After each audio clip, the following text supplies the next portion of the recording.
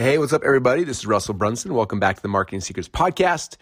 Um, today, I want to share something that's almost like a part two from a podcast a couple days ago. Um, I shared with everybody how I am doing some of my traffic secrets. I'm out publishing every day. I'm out working my way on tons of platforms. And a lot of people have said, oh, well, of course, that's you, Russell. Um, but does it work for other people? So that's what I'm talking about today. So the big question is this how are entrepreneurs like us, who didn't cheat and take on venture capital, who are spending money from our own pockets, how do we market in a way that lets us get our products and our services and the things that we believe in out to the world and yet still remain profitable? That is the question, and this podcast will give you the answers. My name is Russell Brunson, and welcome to Marketing Secrets.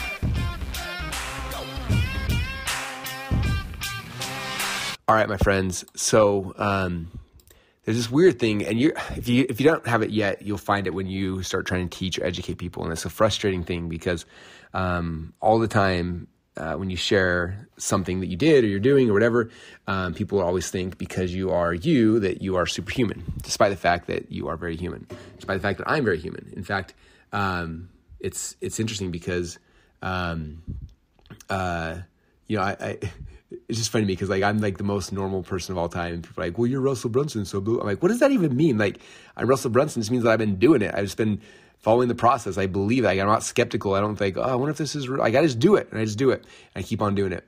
And uh, so, the, you know, the, I think the last episode I talked about how I'm literally practicing what I preach. I said, go and work your way in. And then now that my book is launched, I'm working my way and I'm doing, you know, more podcast interviews in the last week than most people do in their entire lifetime. And it wasn't hard. And like, well, it's not hard because you're Russell. It's like, no, you don't understand. You're missing the point.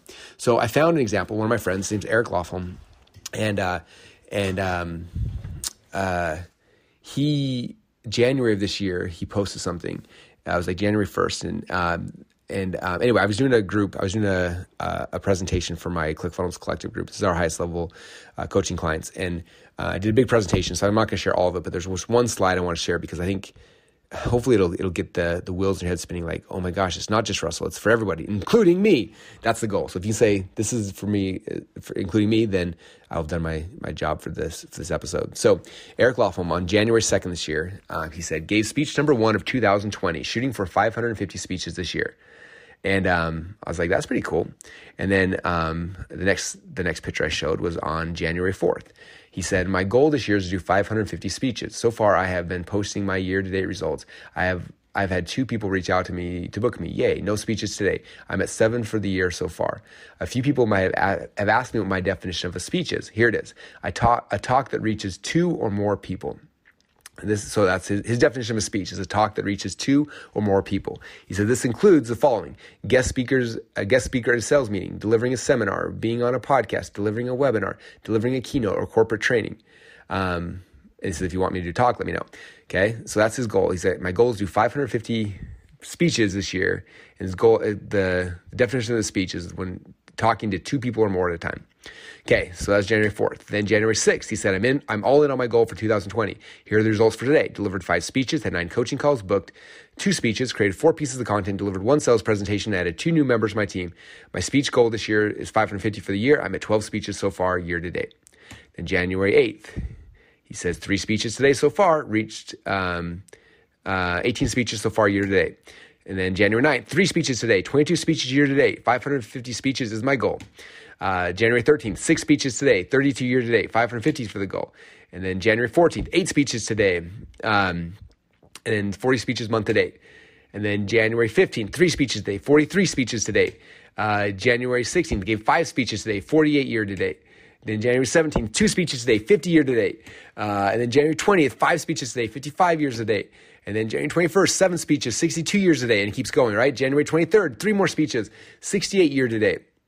January 22nd, three more speeches, 65 year to date. January 24th, six speeches today, 74 year to date. January 27th, I keep, I'm going to go through January just so you can see. So four speeches today, 78 year to date.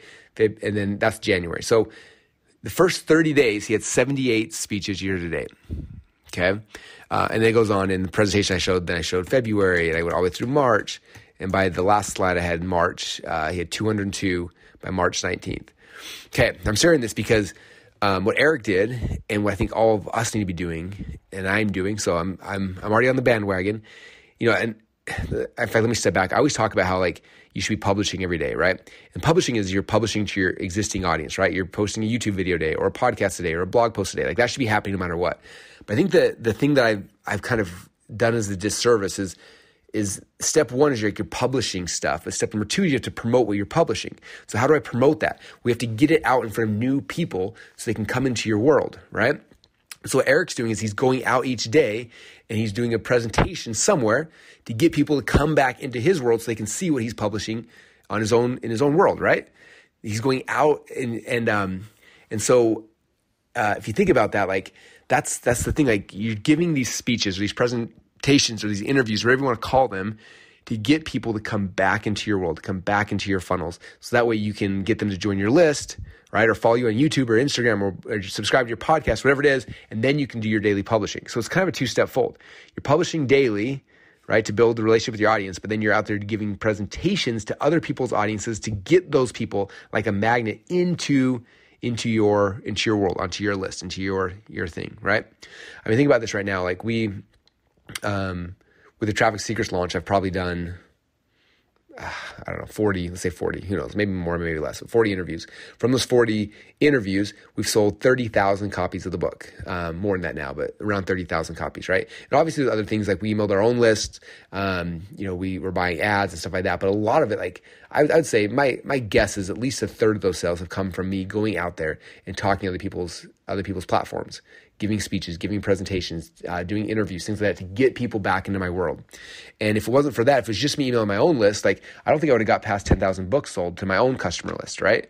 And so two thirds of these sales have come from, you know, paid ads, which is probably a third of it. And then me going out there and doing these things is the other third, working my way in, giving presentations, giving speeches. And so um, I want to share, like, so that, again, it's it's backup of what I just said earlier. But second off, it's someone else, Eric Lofholm, who's um, you know he's been doing sales training for a long time, and he's set a goal. I'm going to go out every single day this year and try to give a speech. His goal is 550 speeches. That's more than one a day. Um, I think as I was reading some of his other uh, Facebook posts, it was interesting. He was talking about like you know, at first it was really hard and then started getting momentum. He's like, man, every time I, I do a speech, I get three other people ask me to do a speech. And then I do that speech, I get two other people, and then it just starts growing and snowballing. And he said, even when I told people on my Facebook page, I'm doing a speech, I'm doing 550 speeches this year. He's like, when I told people my goal, he's like, then people started messaging me and like, oh, do you want to do a speech to my people? And like, yeah, sure right? I think part of this also is coming back to what we keep talking about, which is your Dream 100. Like, get your Dream 100 and then go to these people and say, look, I, I want to do a presentation. Can I do a presentation for you today? And start getting those people and pulling them back in. So, anyway, I hope that helps because I, I want you guys thinking about that. Not just I'm publishing every day, but I'm going out and I'm giving presentations, speeches, whatever you want to call them, to get people from these other other people's followings into my world. I'm promoting my own content. I'm promoting my squeeze page. I'm promoting my stuff. I'm working my way in. A thousand ways you can call. It. I call it working your way in.